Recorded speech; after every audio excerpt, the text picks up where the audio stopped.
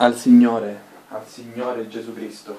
Ancora quest'altro giorno di meravigliosa grazia che Lui mi dà per lodarlo e benedirlo veramente nella semplicità.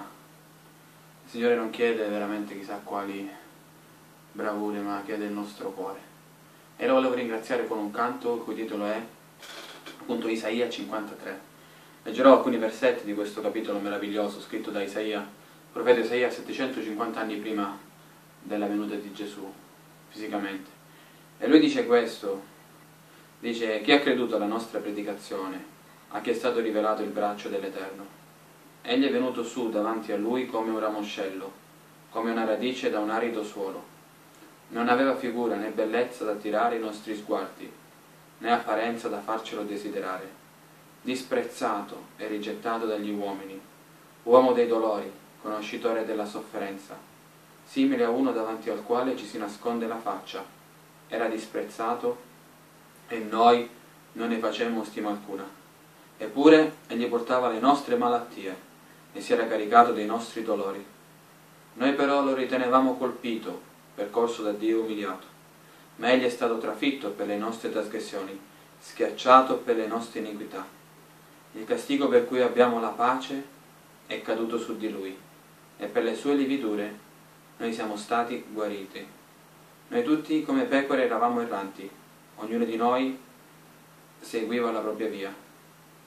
E l'Eterno ha fatto ricadere su di lui l'iniquità di noi tutti, maltrattato e umiliato non aperse la bocca.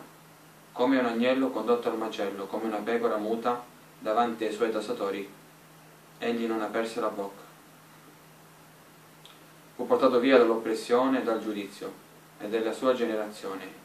Chi rifletté che era stato strappato dalla terra dei viventi e colpito per le trasgressioni del mio popolo? Gloria a Dio. Anche qui